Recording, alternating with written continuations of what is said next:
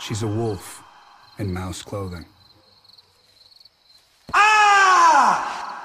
The mouse's ghostly howl stakes claim to. Ah!